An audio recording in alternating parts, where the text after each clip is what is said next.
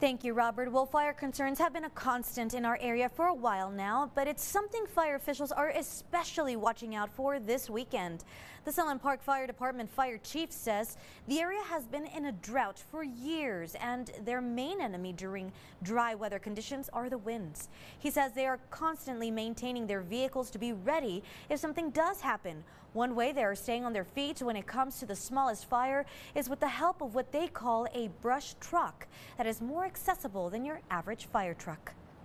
It's one of two here in the Sunland Park area. Um, they are, uh, as you see, it's a pretty big vehicle, uh, off-road capable, so we're able to get just about anywhere in our region uh, to extinguish any kind of fire. On the Texas side of things, the state's Division of Emergency Management has activated additional emergency response resources in case of a wildfire.